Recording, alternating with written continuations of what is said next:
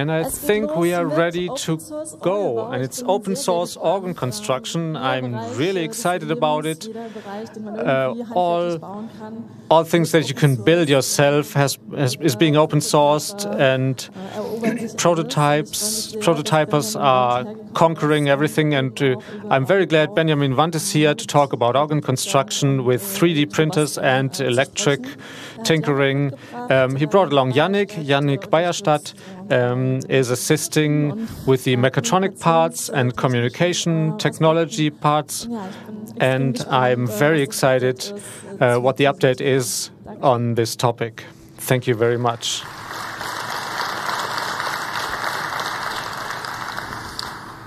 Ja, guten Tag. Yeah, hello. Thank you for coming on the last day that you may found your way here.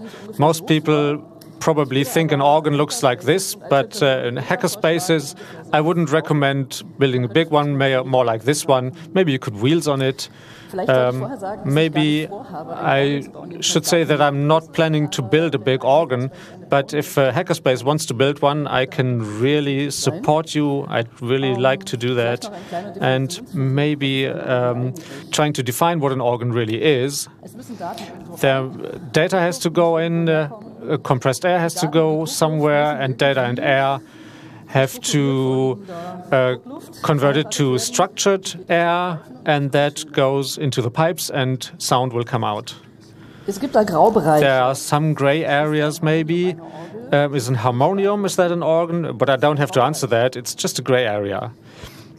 And you could also say that uh, you can make a wider definition of an org organ, and that's perhaps something like a machine that that uh, makes continuous sounds that are not percussive sounds. And then maybe a Hammond organ is also an organ then. In that definition, I wouldn't really require a manual or a keyboard because um, um, little automat automated things uh, that also produce tones like that may also be organs. And here are some pipes pictures of some pipes, typical organ pipes. Uh, until number 14, they are lip uh, pipes. Uh, they work like a recorder, and there are reed pipes. They more work. They work more like a clarinet, and there are some miscellaneous pipes, other pipes who likes experimental things, who can they can they can search for vox maris. That's another another pipe type with uh, very high pressures and very high volumes. Um, except some very few exceptions. Um, a wind instrument always needs a generator and a resonator, and the resonator is the pipe, and the generator is what makes it resonate, what makes it oscillate. Um, with a, a, brass instrument, you use the the, the lips, and uh, maybe there's a reed in some instruments, and some resonators and generators have different sounds, and that's why there are different types of organ pipes. So. Um, they all sound uh, a little bit different. A little bit different. Uh, my own designs, I always uh, thought uh, that you put in a pipe, you and you are restricted to cylindrical pipes then. Um, all the pipes are parametric in, in FreeCAD or OpenSCAD. And you have to put in the, the value and uh, for, for diameters and such into the file and then export as uh, STL. And then you can put it into a 3D printer. In, in FreeCAD, it's a spreadsheet. There's a spreadsheet uh, for entering variables. And there's one, one area to, to enter your values. And you see here some schematics of a metal organ, organ, pipe on the left and a recorder, and some of the things that I do on the right. There are many reasons for design decisions, for details, for organ pipes. They're all quite different, uh, but uh, roughly, they 99% of the reasons why they look the way they do roughly are uh, uh, questions of practicability of, of building the things. These metal organ pipes are from from sheet metal uh, soldered together, and that's why they have thin walls everywhere. And that's why there's air in the bottom here because it's it's the easiest way to build it. On the other hand, a recorder, uh, you just drill a hole into into a piece of wood and then you make the lip there, and then you put in the block there, and that's why there's the big black block there. That's uh, caused by the way it is built. And if you use a 3D printer, there are completely different set of rules. I, I push in a block of wood is, isn't relevant here. But what's really interesting here is that on the bottom it is it is uh, hollow below the below the lip, and uh, I didn't think of that immediately. But at first, I looked. I printed pipes uh, like recorders, and and yes, that works. But the the generator hasn't doesn't have to be at the end of the pipe.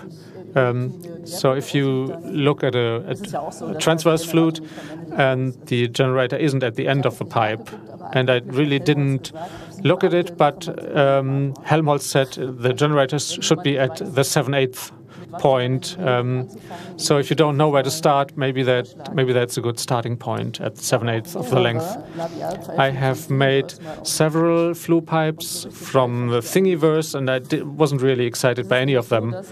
Um, these organ pipe uh, shape uh, depends on. Uh, on the way it is um, it is machined after building uh, with with machining tools and with uh, organ pipes, with metal pipes, that works very well, and it doesn't work very well with plastic from a 3D printer. And uh, it, you don't really have to imitate the shape of a, of, an, of a normal organ pipe if you really want to have something like that. And I wanted to say something about the design programs. I started working with FreeCAD and then went over to OpenSCAD, and they are very different approaches. But in practical handling, I'd say if you need to do something very quickly, you just use FreeCAD and you can just just roughly make something. And uh, if you think it's going to be a real big pro project and it has to scale, then maybe it's a good idea to to code it again in SCAD because then it can really can be versioned and it doesn't crash quite as often. One of the reasons uh, why it's such a problem with FreeCAD is if you enter the parameters in the spreadsheet, then after every entry, the, the model will be recalculated, and maybe there are mathematically impossible models, and then it'll just hang and crash. You can try to to uh, enter the parameters in the correct order, but it's quite unnerving and takes a long time, and it's annoying. It, it, it's no fun at all. And a problem with OpenSCAD that I found is that the files can only only work with uh, specific versions, and someone gives me an OpenSCAD file, and then I, I, then it doesn't work, and you have to talk about program versions, and it can be fixed often, but it's still very, very not quite ready yet. Maybe they really have to think about what they really want to achieve. So, what about plastic? Doesn't they don't they break quickly? Well, organ builders really claim that they, their organs uh, last for centuries, and that's um, a big thing to, to claim because they are moving parts, and an, org an organ always comes along with a maintenance doesn't come along with a maintenance contract and they sometimes break and then they are half broken or something. And I would suggest that um, be realistic about that and make some estimates how long the parts will last. And you could perhaps consider that one version lasts for 100 years and one lasts for 50 years but only costs 20%, and you can uh, weigh your priorities. And I wouldn't really print something that will, should last from PLA. That's nonsense, but you can also print nylon. And you can also uh, come and look at this. I have something printed from nylon, and that's almost serious, really. So. Okay. Um. Bei dem Vortrag zur Easter Hack hatte ich on the Easter hack, I had just finished a design with a 45 degree lip, and I couldn't play it because there was something, a problem with a 3D printer on Easter hack, but it's done now, and I can demonstrate it now. So schaut es aus. It's what it looks like. Das habe ich gemacht, weil I did that because I uh, always printed them at, at 45 degrees angle, and all the, the flue pipes um, had problems with the support materials. And uh, if I make the labium at 45 degrees, then I can print them um, upright and it'll stick to the building plate. And uh, there are really no problems with that. It makes sounds just like other flue pipes. And, and that's all fine. There, I couldn't find any difference really if you build it uh, 45 degrees or, or straight up. And uh, uh, in spring, I had done ex experiments with uh, the the reed, the reed generator, but I didn't follow up on that. And I really wanted to to mention it because I'm I still have the project to build a prototype uh, with real dynamics, uh, like with a piano. And so keyboard dynamics. I mean, if you if you if you touch more, if you hit it harder, then it's going to be louder. And if you maybe something like this. So this is a piano. And for all non-musicians, perhaps. And if you make the same thing with a Hammond organ, dann ja. Then yes. Ist immer gleich laut. It's always exactly the same volume.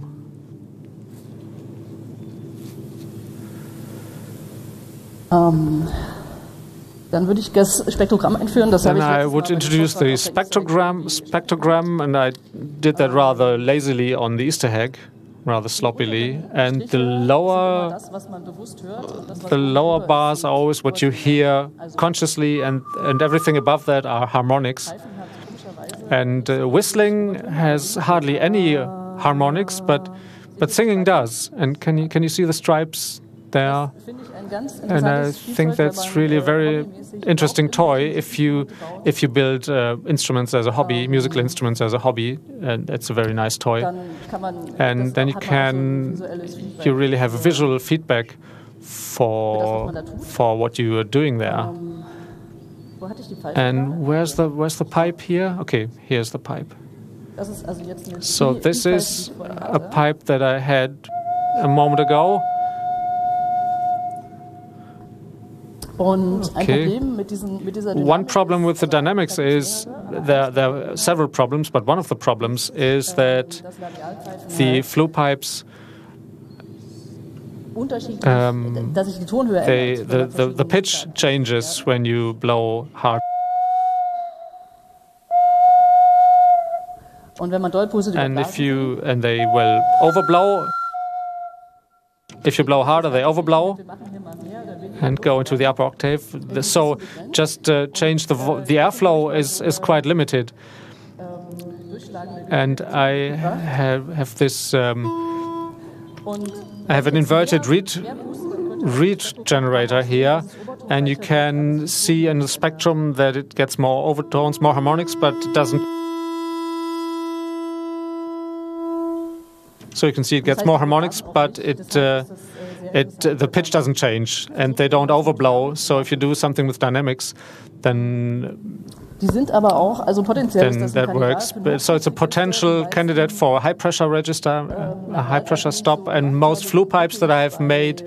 They work with 40 and 50, between 40 and 50 millimeters of uh, water column, oh, and uh, the reed pipes more or less at, at 100. So talking about millimeters of water column, this is there's this toy here.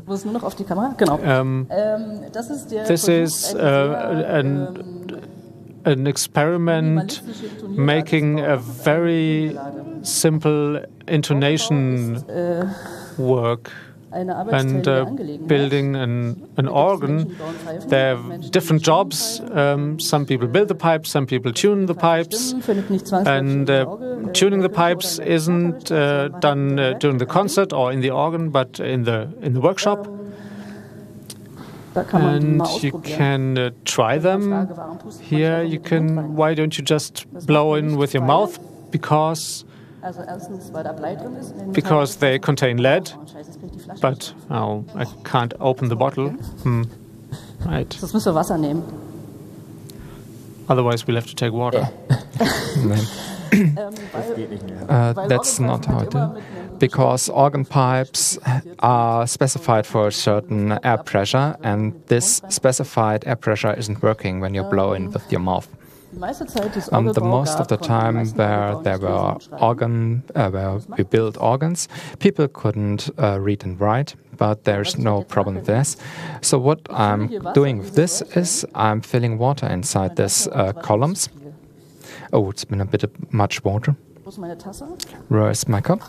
Ein bisschen experimentell, sorry. It's a little bit of experimental setup. Um, could you actually see this? scheiße, dass dieses gefärbte Wasser It's a bit äh, shitty that this uh, colored water.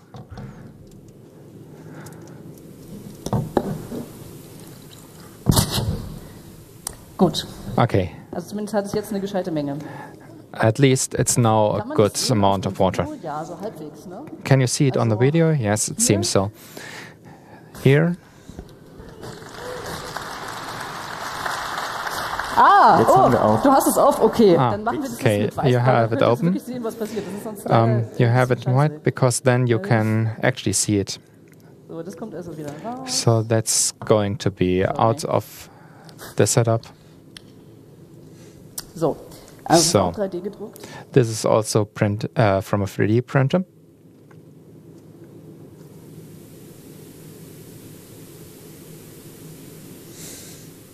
So, noch ein bisschen. So. Also bis zur Hälfte würde ich es Just a little bit. ja? I'd suggest to fill it unto the half.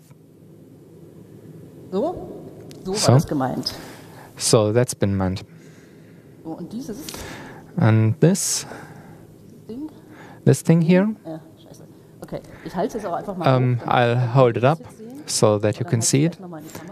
And then. I, I hold it in the camera so you, Äh, Das ist, war so mein erster Versuch. eine This was my first try to make a- Nightingale. Da ist Wasser rein, aber Um, I put inside there real water.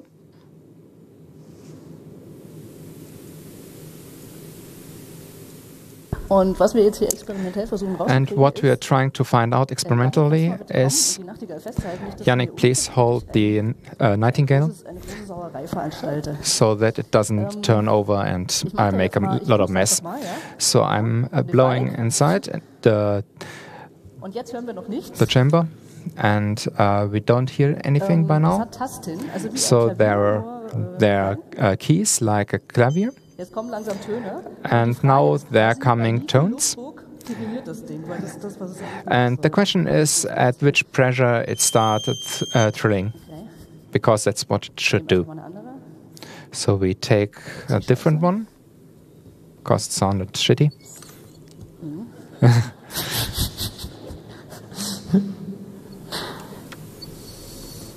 Warum geht es nicht? Why isn't it working? Ist das Ventil im Arsch? Would you, is the valve broken? That's the thing when you build something on your own. Okay. Okay. Oh, sie hat noch nicht genug Wasser. Oh, there's not enough water inside. kann es leider von außen nicht so gut sehen. wie viel One can't see it. Uh, f- uh, one can't see it from the outside. How much water there is in there? Let's try it again.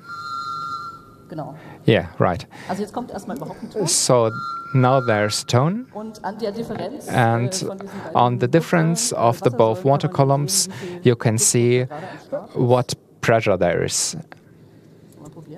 Try it again. Genau, das meine ich mit Okay, this is what I meant with ähm, the threading.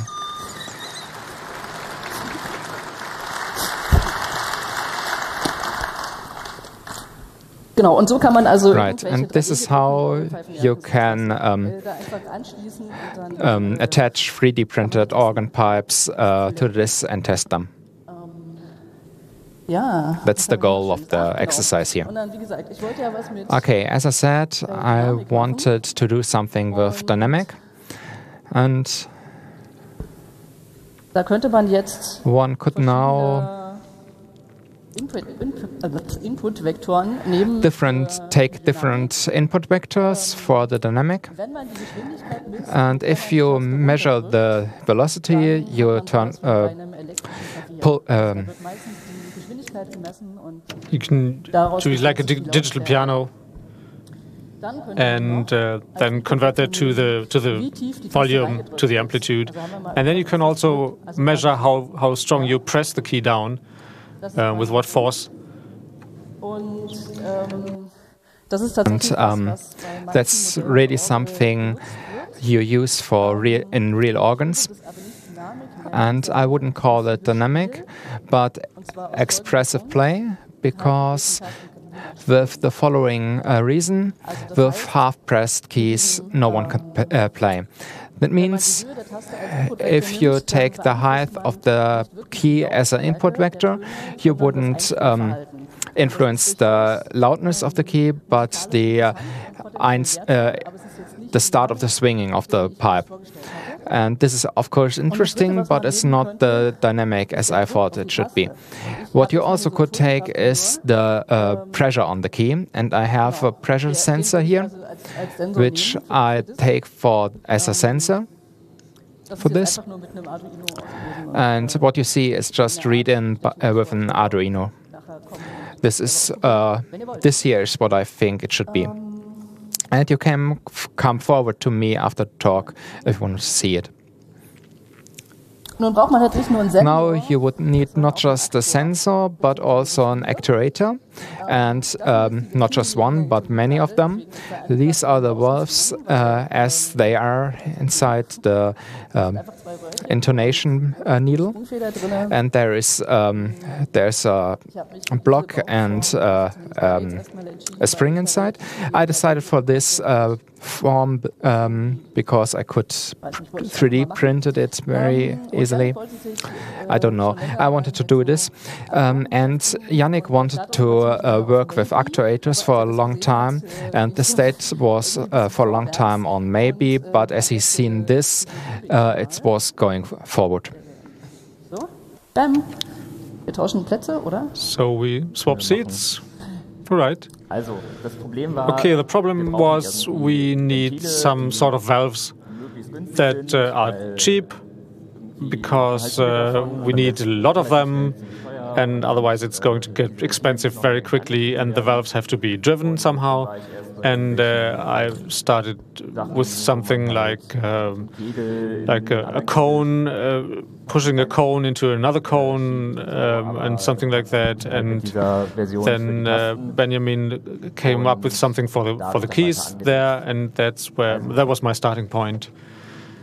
And uh, for driving it, we need some uh, position uh, positioning drive, and it's uh, it has to know the position, or I need to know the position when I want to drive it. And um, so I can do it uh, by knowing uh, the position from, from the driving itself. Um, some people will know what I'm talking about, but I'll explain it in more detail.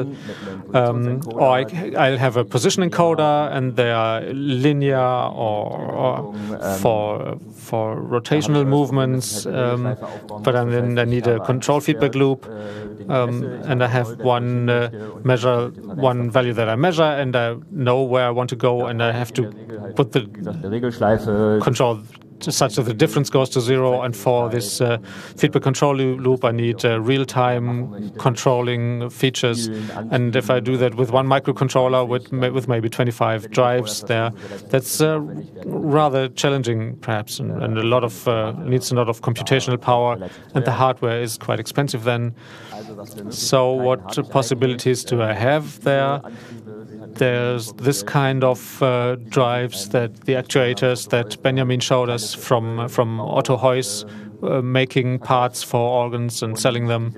And these uh, actuators can also uh, regulate and change the position. I want to have it 100% open or 50% open, but they are quite expensive.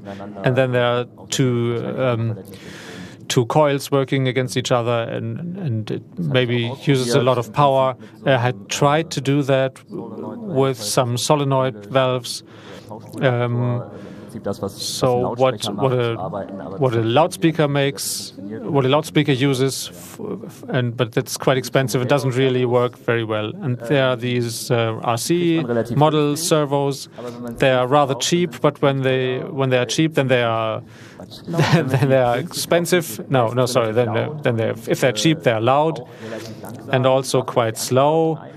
Um, but controlling them is easy because the position control mechanism is inside the servo, and there's uh, uh, something that, that measures the position, and it's all automatic. And the professional version is this is a, a servo actor. Uh, what's used in industry in or in the powered steering in a car. There's a there's a motor and a position encoder. This is only the encoder you see, and with with good quality quality that's quite big and and expensive. So yeah. And uh, many of you probably know from, from 3D printers know stepping motors. Um, and by controlling them, it is known where it is, at which position it is, because for one control step, there's a certain uh, rotation. Standard stepping motors probably usually have uh, 200 steps per revolution, so 1.8 degrees. Then you can do some tricks to, to increase resolution. But normally, you know the position. So, um, what are the advantages and disadvantages of stepping motors? Um, the advantage is you know the position uh, unless you put too much force on it, too much torque on it, and it then it may skip a step, and then you have a problem. And if someone with a 3D printer um, knows the problem, maybe one one shift one layer is shifted then. But position control is, is relatively easy because the controller controlling is you just have to count the steps in each direction and just uh, calculate plus and minus and, and addition, subtraction, and you know where it is and uh, the position resolution is quite good, it's quite high. It's uh, uh, precise enough for what we need to do. The first estimate is that you, perhaps you need about 20 steps, 20 volume steps to to use it, to make a, a useful um, discrimination so that you don't really hear steps in the volume of the instrument. So yes, that was my my estimation, um, about 20 perhaps. And the disadvantage is that normally, if you have small stepping motors that, that are cheap, then they um, have a very low low force and low torque. And the valve design that we currently plan to build, um, that's not a problem. I'll show you in a moment. And um, they are sometimes loud, and it depends on the way you control them. Uh, for example, in a 3D printer, maybe you know that they make funny noises if they drive back and forth.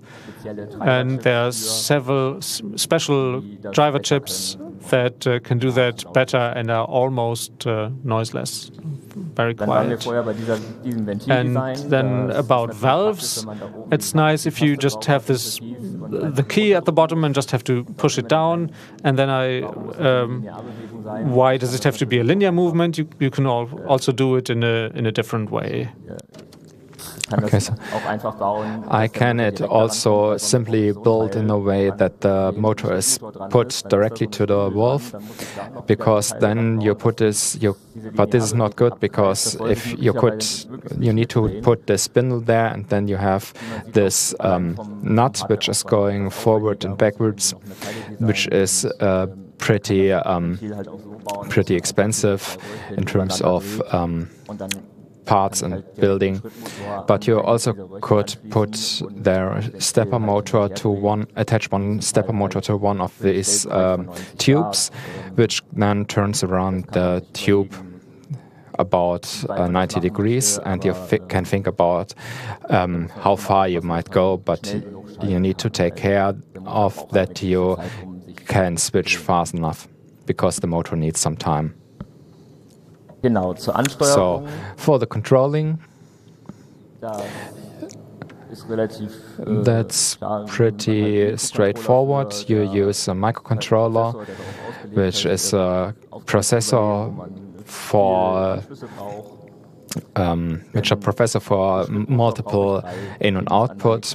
Per stepper motor, you need uh, three in and outputs because the most easy interface for a stepper motor, you have a step direction interface. So you have one pin, you go from zero to one and each each time you change the um, the amplitude, you go uh, forward or backward, and then you can say that it should go one step. This this are you doing over the direction pin. Also, you would need an end stop uh, switch so that you know that you're being on your final position or position zero and the valve is completely open or closed. So you need um, four, four contacts, and there are controllers which are which can handle this. I have uh, a TIVA board which has about 100 GPIOs um, which you can use. So this is a good thing uh, you can use for control organ pipes. You can imagine one octave has uh, 12 point, uh, tones, and if you want to have two two tones, you have um, 24. If you ha uh, would have one tone for the third, 25, and therefore you could use with my device uh, control with my device about 30 pipes. So now we have a valve we have a controller, we have a driver for the controller, we can attach it to the microcontroller, and what we are still missing is the data from the input device.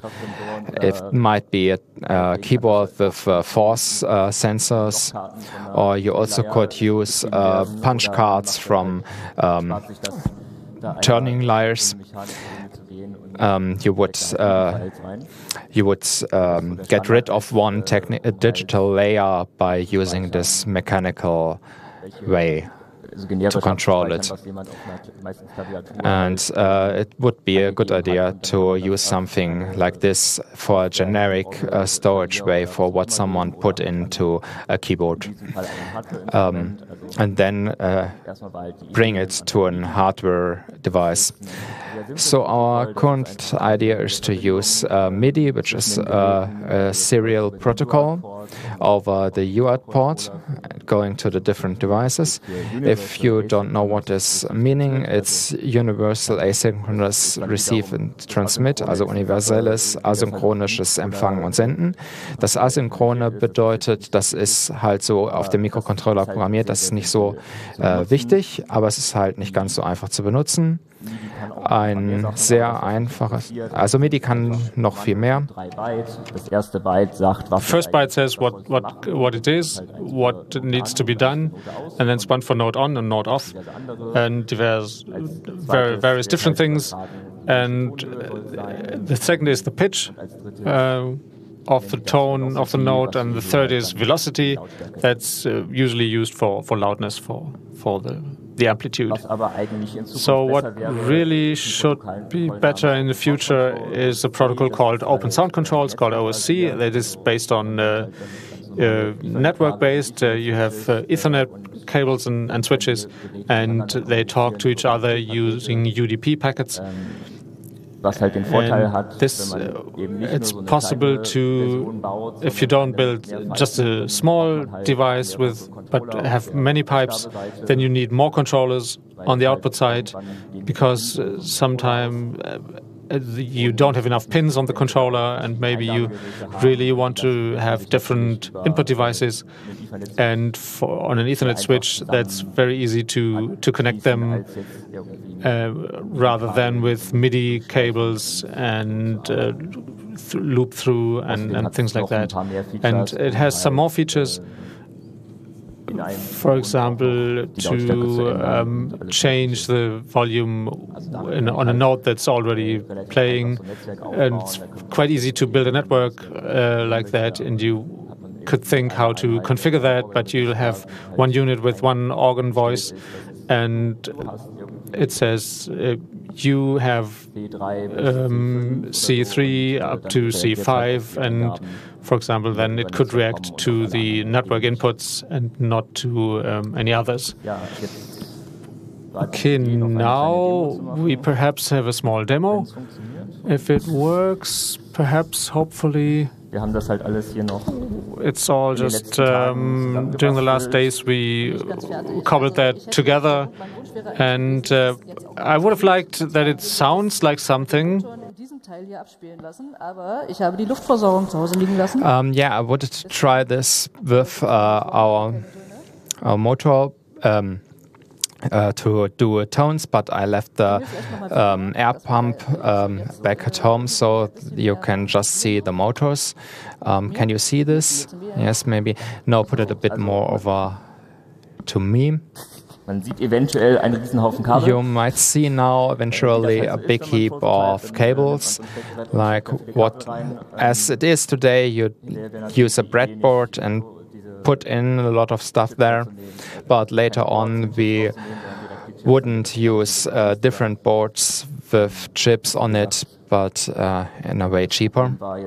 But as said, the problem was uh, to print out all the valves. But if we would put uh, press here this key, you would see that the motors would um, turn around, and in theory, it would play a free software song, but not here.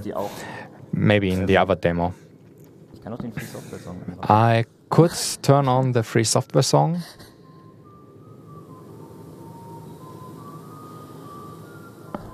Also man sieht, die sind schon ziemlich fix. Äh, man sees uh, they are pretty fast if you just go to 90 degrees. So that's why we choose them. And if someone are in, is interested, you can come and ask me. And uh, this is what in general should be enough to play fast with an organ. Organ music is in general pretty slow. What? Some of it is slow. But the question is how fast you can play the tones. It's depending on how fast the pipes are going to respond. And that's more like the problem. Now, from here, I don't hear anything. I was. Uh, I had my problems with stepper motors. They might be loud, but I was wrong. The other one I did um, with the um, coil. I pushed it on the on the, on a wooden part, and you can't hear it with a wooden part. So they are pretty um, quiet. So now, so we came to our end, and everything else in a Q&A for details or other questions or ideas what you we can improve. Thank you.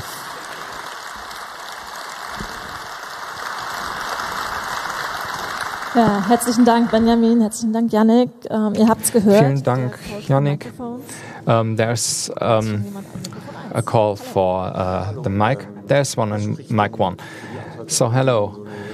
What's uh, speaking against um, the mechanical um, control, like a mechanical um, swing, and um, then you put there an electromagnet? Yeah, uh, that works. If, if all you want is turning on and off, and I really want to uh, make a dynamic organ. But with dynamical pipe, um, with reed pipes, uh, this no. wouldn't.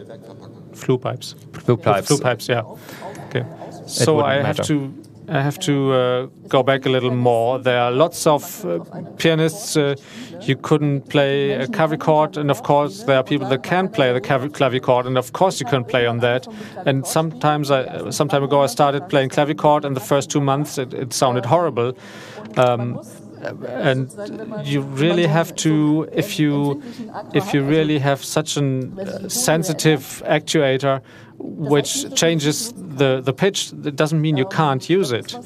It's something that you have to learn, or what the, the musicians have to learn to, to um, that the pressure is, is measured and the and that the pipes uh, work differently than otherwise. And you can perhaps with that not all the literature that that exists, but I think that even with flue pipes and dynamics, you can do something. It's not a big dynamic range, but I think it's a big uh, gain in expressivity um, uh, for which it would work. And I, I, think that if you do it with dynamics, with flue pipes, then maybe the, the, you end up with literature like for the clavichord with only two or three voices because you can't control more than that. So if you can do it, it would be great, but um, a control board would be nice. Yeah, yeah. Yeah, if you if you could have a swell, that would be nice. But okay. Hi. So thanks for your talk in the beginning. So um, a question to microcontrollers and IOs. Have you thought about what would happen if you multiplex the exits, uh, the inputs from the motors? So of course, um, the steps, uh, the step time, there would be a question how it works. But in general, you can mu multiplex it. Yeah, the direction and end stop, uh, you can multiplex those certainly. But at some point in time, you would always arrive at the point where you need more than one. And in the architectural design, you probably have to to allow for getting it together. And that point alone, that you want to separate input and output device, then the, the MIDI would be enough for that. But um, okay, the, the, the step the, the step input I wouldn't like to multiplex really. Thanks. We have another question back here. Have you thought about what's the um, what's the size of the diameter of the valves and uh, how the the air is flowing? You think the rotational valves? Uh, we haven't done that yet, but uh, I haven't really done a lot of fine tuning so far at all with the cross sections for the for the pipes, the, for the hoses. Uh, that's a factor for organ pipes, really. But I really would would couple that to that, seeing what kinds of hoses I can get, which which cross sections uh, works with which pipe, and I would just uh, try that with these uh, rotational valves. But I haven't done any calculations yet, yet, so I don't know. But it's I think it's one of the more charming aspects of the the rotational valves that you can easily build them in at different sizes and different thicknesses, and you don't really need two magnets for big pipes, and things like that. Oder hast du eine Idee? Or do you have do you have an idea or suggestion? So the second thing would be if you would build a um, triangle structure, you could have an um, uh, with round um, with round uh, forms, you could have a better um, reaction time. Yes, we're, we're not there yet, but, but we thought about it. Yes, thank you. Die total interessante Vorschläge machen. Wir haben dann auch sehr viele in den Schlangen. Yeah. Ich gehe weiter mit Mikrofon 1. Du hattest schon angesprochen, dass du die Luft You already uh, said uh, that you left the pressure, uh, air pressure motor back at home, but how do you um, um, how do you generate the pressurized air? Because compressors in general are pretty loud. So, what kind of construction do you use, therefore? So uh, yes, compressor is quite loud if you want to, especially if you want to have a big one. So for big big organs, it's put in the in the basement and is damped on a, on a damped uh, setup. And if you don't need the huge pipes, even for for small organs, um, I did some experiments, but I didn't bring it along um, because I don't have a car.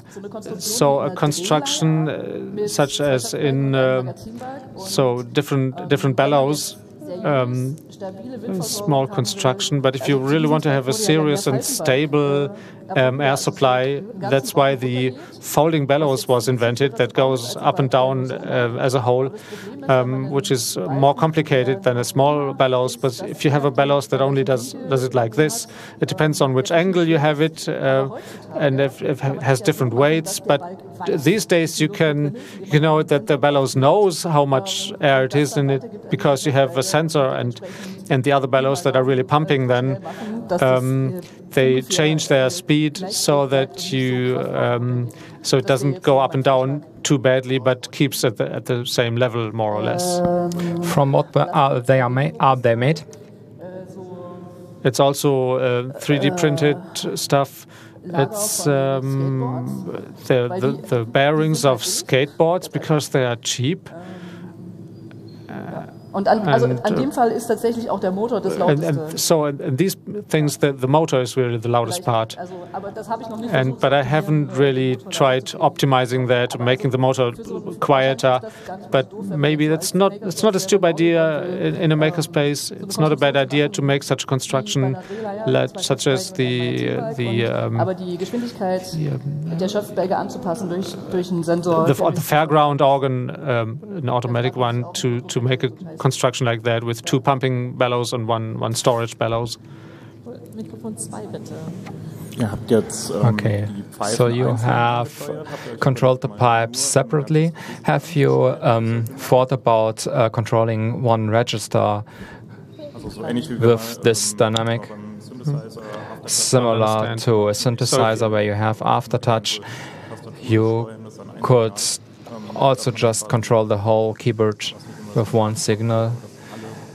Not that you do this mechanically, but if you have all pipes in one register, open the whole, dann muss ich nicht anders steuern. all the waves to register.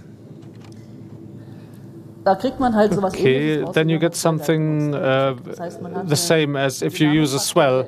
Uh, you have a dynamic factor that works uh, the same for, for a whole voice.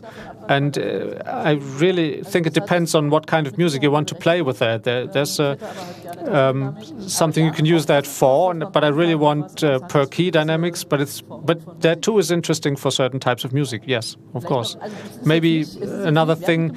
It's not there's not an evaluation. That's not. But some people I want the key by key dynamics. Uh, others will others. Uh, really want uh, dynamics for the whole voice and but you can't play a fugue with that for example but there are so many beautiful things on this world Mikrofon 1. Gerne noch, mit welcher Software ihr dieses Ähm, okay, mit welcher Software habt ihr das? Äh, äh, sorry, with this, uh, which software do you make the spectrum of the overtones? So there was FFmpeg, and the exact uh, command line command is, is on the on the Fahrplan page, on the schedule page, on the um, of this talk. And if you try that on the terminal on the command line interface, that should work. Otherwise, you have to ask a nerd how how to debug that. Nochmal 1. Äh, ja, äh, man Okay, kann ja. Orgelbau zu jeder Zeit beliebig One could build an organ at every time arbitrary difficult, and you had the uh, the main point, the um, controlling. But have you have an idea when you would use uh, di- di- different registered register? Einen I would really like to make an actuator below every pipe. So there's the the question: How can you make it cheaper? So no, but we haven't really done that. I'd like to build a prototype so you can at least start start playing music, so I can show you what what what, what it's about. So two octaves and two registered, and and one flue pipes and one reed reed register. Um, and I would make an actuator under every pipe. And um, if someone is then going to build an organ, an organ with multiple registers, then they can of course decide uh, how much money to throw at it. But I, if I don't really intend to build a huge organ uh, beyond a prototype, uh, among other things, things because I just don't have the room for it. Um, so, is is that is that an answer? Okay, gut. Okay, thank you. ja, wahrscheinlich dann auch der Aufruf, äh, dokumentiert eure Orgeln gut, äh, stellt sie irgendwo hin. Um, also the call for uh, document what you're doing. Um, make a documentation of what you're doing so that others can um, build this too and uh, choose from what you're doing to compose it to a new organ. Yes, right. Um, I also have most of the time the same deck number, so at the next event, uh, just call me. So, thank you everyone, and thank you for all the questions. And if you build an organ, bring them here to Congress.